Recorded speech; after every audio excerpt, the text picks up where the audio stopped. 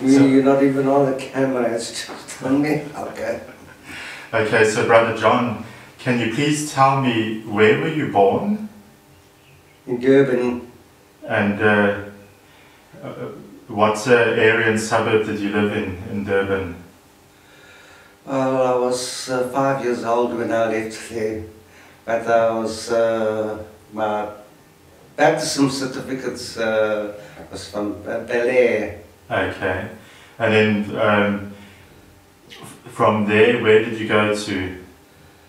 Uh, in 1947, before, in January, that was while I was still six years old, went to Nazareth House in Johannesburg. Okay, and how long did you stay there at Nazareth House? Oh, the, from that 47 to 53, I think, 54. Okay, And after that, uh, Father Osmond took me out uh, for uh, more advanced studies and I had to go to Marist Brothers and stay with his parents.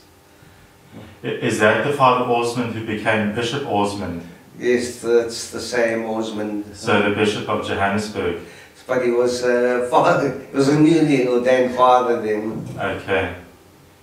And then um, you mentioned something once upon a time about Boys Town.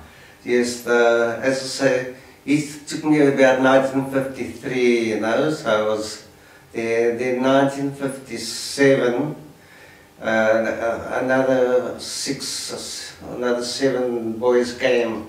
They also stayed with his parents and went to Marist Brothers. So I was in Marist Brothers from standard 6 to standard 10. Okay. See, then of course these others, we were, we were nine of us staying with his parents in 1957. Yo, that's a lot to be Yes. staying with. So they, they had a lot to look after. And, yes. And then um, after, what was Boys Town like? Uh, boys, uh, now as I say, uh, I was the first one, okay, in 19, before it even started. Then in 1957 there were nine of us, but Boys Town and it started officially in 1958. And uh, I I was about 28 boys then. See, and, uh, and uh, but I never uh, went to Boys Town. I was with his parents still in that year, but I used to go weekends and uh, on and off there and holidays. And then in 1959, I was, I was still around. Yes, in 1959 I went, uh, I spent a year uh, in Boys Town doing uh, matric by correspondence. See, so, so 1959 I was 19. and then, uh, What was the purpose of Boys Town? uh, mainly orphans, Mhm. you know. Uh, Father, there's this boys town in America, you know about that, uh, and this um, priest in America used to uh, go to courts and uh, save boys from going to jail for one thing or another. He reckoned all boys were good. So he started Boys Town in America, and it's after that that uh, Father Osmond wanted to start Boys Town on the same, let's call it, for uh, hmm, incorrigible, naughty boys mainly, but uh, what, what he mostly had was uh, orphans, you know, like was. I never had a mother, and, uh, so I was offered myself, my brother and my sister, and then, uh, as I say, there were nine of us in 1957. There was 28 in 1958. Then uh, I spent a year there in 1959. And then uh, my idea then why he had me is because I intended to be a priest. Okay. But uh, when I wrote matric, it was this private school, private, uh, you know, the JMB Joint Matriculation Board. And when the results came out in the paper, and I didn't see my name, so I thought I'd failed. You know, and then uh, not realizing then that the names in the paper are the government schools, not the private schools. So I went out to work and I worked in various jobs. Uh, I, st I started in office work mostly. And through my life I did uh, office work, I did sales, the road work, and I did uh, factory work. if I remember properly, you said you had about 43 different jobs. yes, some jobs I'd go to one day and then decide, no, it's not a job, I'll not go back the next day. See that? So, so two of my jobs I think only lasted one day like that. Uh, I was in and out factories and mm, different things. And when I was in my 40s, I don't know, I got to uh, um, middle age, uh, what you call it, uh, got to think now, what am I going to do for the rest of my life? I can't keep switching. and then I went through all the different jobs I've been to. No, no, no, I don't want that, I don't want that. what did I start with at school? Oh, at school I wanted to be a priest. And I thought, I wonder if I could still go for that, I should have been.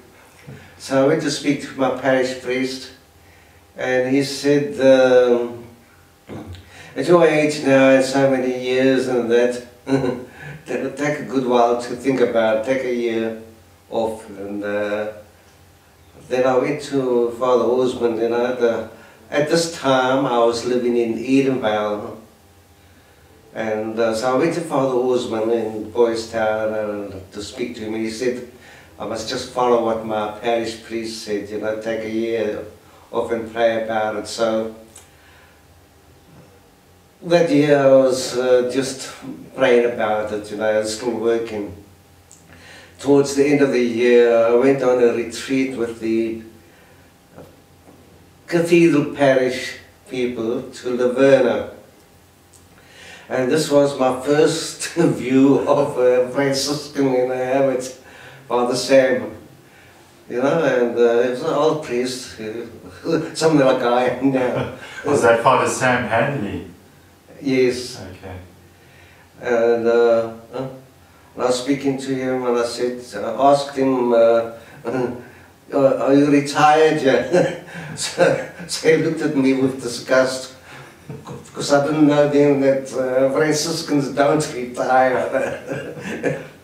uh, but anyway, there was a little notice on the, the church door there, small little notice there. Have you ever thought about becoming a Franciscan as a priest or a brother? And I saw this and I thought, oh, that's a good idea. If I, if I can't get through the studies for priesthood, at least I can become a brother. and that's how I got there. And I spoke to priest there and he said, go speak to Father Stan Brennan, who was the nearest to me, because I was staying in Edenvale at the time and Father Stan in Boksburg was kind of the nearest. And uh, so he arranged for me to come in. So after 43 different jobs, you finally settled down with the Franciscans. yes, this is, this is the longest job I've had. and do you feel happy and fulfilled as a Franciscan? Happy? Yes. Uh, uh, uh, uh I don't feel unhappy. Mm -hmm. I, don't, I, don't, feel like uh, jumping for joy in my my body's old now, it doesn't want to jump anymore. but uh, no, I'm quite satisfied and because I get most of my joy and pleasure with my meditations and contemplations and you know with Jesus so that uh, being deaf I don't uh, have good communication with others because they, uh, I don't hear them. They get frustrated with me not hearing them. And uh, so I, I've got more time to spend on my own uh, contemplating. Can you explain to me, please, what, what is contemplation or meditation? Uh, I look at it as uh, three ways. Uh, is prayer, you know, which you say aloud or say in your mind, you know. And there's meditation when you actually like do reading and think uh, about the reading or the prayer and that. And then contemplation, uh, you don't think about anything. You just let the presence of God be there without having to make pictures and use your imagination or anything. It's just purely spiritually inside. Do you think that your deafness has helped you to pray better? Uh, oh yes, much more often. Sometimes when there's a group of people, they're all talking and I don't know what's being said at all. I can go to pray. At least Jesus hears me. um, so, if you had to make a choice again uh, and start all over again, would you still choose the Franciscans? I wouldn't know the Franciscans if I had to start over again. uh, but if I had known them, yes, uh, mm, probably. Because as I say, uh, to be to be a brother, you know, because I wanted to be in the church. When I was at school, you know, the little boys in the early teens and that, you know, how naughty they are and things like that. And uh, we used to have confessions every once every two weeks, you know, and the, all the, the, and we went to mass every day. See, then the day after confessions, with all, all the boys, you know, and the girls would be going to communion. But as two weeks went on, there were less and less boys going to communion until the final day. I'd be the only one. and because I was like that, uh, the other boys uh, called me a holy, holy and all that jazz. And, and then they said I wanted to be a priest. And I said, I didn't say anything about becoming a priest.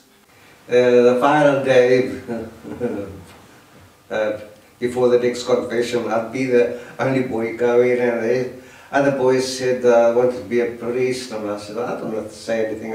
So the idea of becoming a priest was put into my head by the other boys. Can you please tell me what's special about being a Franciscan brother? Uh, number one, uh, you're with the church all the time, you're with God all the time, with Jesus all the time, with uh, uh, all the time for prayers and things like that. Uh, that's uh, the prayer life uh, is the, the, most important part. Okay, the ordinary life. I go to different places. I do different jobs. According to my experiences at work and all that. I mean, 42 different jobs. it helps me to do, like when I was in the crowd, and uh, Ben, sorry, at Bestas, and I used to do a lot of work and I used to, I did so much there. And uh, I hear people talking down then about how busy I was. yeah, I'm not so busy as I was there. Anyway, the, um, all the experiences I had helped me as a brother to do various things for the brotherhood. See, that's uh, the one thing, that's about the personal side. Uh, but to me, all the friars, we are all brothers and very close to each other. And I look at all other friars as close relatives, you know, uh, being brotherhood so that uh, I'm quite safe with them. I'm quite I'm looked after by them, and I look after them, and I look after the the, the way of life and that. Can you tell me what do you particularly like about St. Francis of Assisi? What do I think about St. Francis? What do you particularly like about him? Um,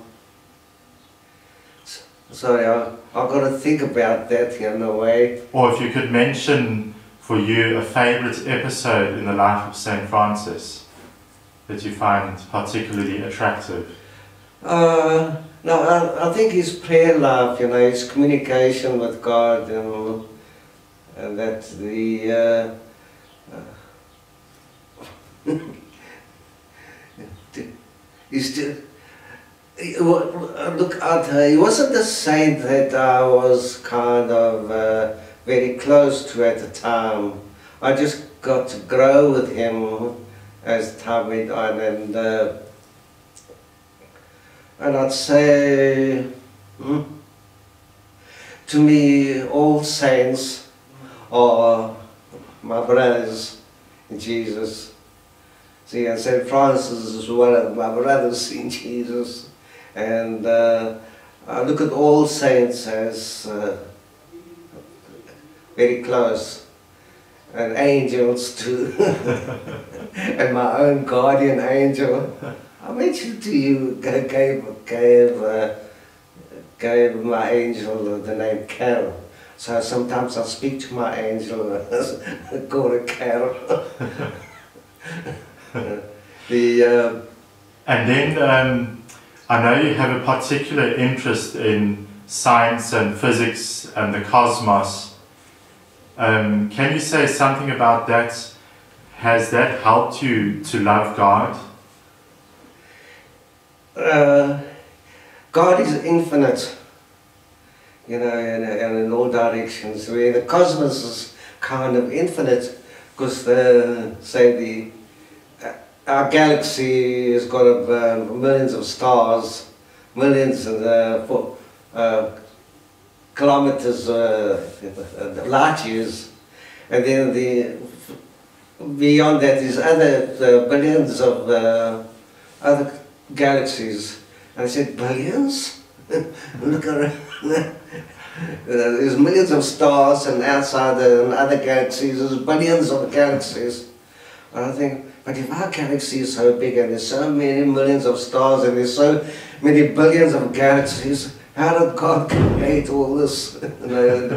And so it gave me more of an idea of His infinity. The more my mind went back and my uh, view of the universe went further and further out and I could, and then I wondered, what's beyond the last stars and that? and uh, I never actually found out anybody uh, asking that question, what is beyond the, the last uh, cosmos, the last uh, uh, universe? And um, the thought came to my mind that uh, there's nothing. okay, with the last one, there's nothing, because there's no more. no, after the billions and billions and billions of uh, galaxies. And I thought, but how can there be nothing? What about the lights from those last ones? Okay, okay, they go out, but that's uh, uh, be only a certain distance. What, what's beyond that? Just empty space. So I had to ask myself, what is empty space? uh, it's nothing. Uh, so nothing can be nothing. So then it's just the presence of God everywhere. You know, so. And then, um, what would you say to young men today to encourage them to become a Franciscan brother? I tell them the most important thing in life is your future life. In this life, you live for maybe 60 years or 80 years or at the most, and then you go somewhere for millions of years. Our cosmos is 14,000 million years. so how long will you be in heaven or somewhere else? You know, 14,000 million years again. So, uh, being a brother, being a Franciscan, and being working with the church and being close to the and uh, following your prayer life and uh, developing your own spirituality helps you to uh, think about the future after you pass on for the next 14,000 million years you want to be so, in some way good and this is why uh, the prayer life is very important for, uh, for anybody to think about what's going to happen to them when they pass on. Is there anything else important that you feel you need to say? Uh, you'd have to repeat it. Is there anything else that you would like to say which you feel is important? What I feel is important. Mm. Uh, regarding what? Anything. I'd say the divide my life into my spiritual side and my physical side. Uh, so, what is important, okay, for a, a youngster, for anybody in that, is to uh, live a spiritual life, you know, to, uh, do the readings, you know, the uh, office of readings and morning, evening, and there's seven times a day, and, and, and to go to Mass every day, and go to communion, to actually receive uh, Jesus. That I, uh, when I preach or I talk to people at all about the Blessed Eucharist and uh, about the real presence of Jesus in the Blessed, Blessed Sacrament. And it's important to uh, receive Him uh, personally because He is God and there's only one God. You don't just receive Jesus, you receive the Father, Son, and Holy Spirit because they are one God. And then uh,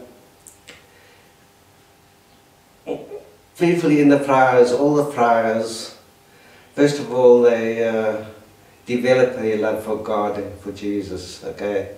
Then they uh, follow the laws of Jesus and tell the two greatest sacraments that Jesus says is to love God and love your neighbor. So your neighbor is, uh, and your brothers, of course, are the closest to love. But then that's uh, loving all other neighbors, so that's even your enemies, uh, if you have enemies. we don't usually, usually have enemies. I don't have any at the moment. anyway, the uh, mm, mm, uh, Jesus to love them all. And uh, when I pray, and I go to communion and I say prayers, I don't just think of it as me, although so many of the hymns as I, I, I, and me, and I think, oh, wow, so, so many of the hymns are so personal like that. When, uh, when you're praying, it's not just you, it's everybody that's... So all these other people go into Holy Communion receiving the same Jesus as I have received. Uh, how close we are, we, we are one, see? So uh, we talk about Jesus asking us to love our neighbours, so love all these uh, other people that also went to communion the way I did. Then I think about all the people in the whole world who went to communion that I'm one with. And then I think about uh, everyone, whether they're Catholics, uh, Muslims or anything, we're all uh, brothers. So uh, I make myself one with all everyone. And that, uh, that even the Muslims and Buddhists and uh, uh, non-Catholics or whatever, I've still got brotherly love for them all because that's what Jesus wants. It's, Thank you very much, Brother John, for sharing all your very personal and intimate experiences. Okay. So, goodbye and God bless. Okay. Thank you very much. Bye bye, guys.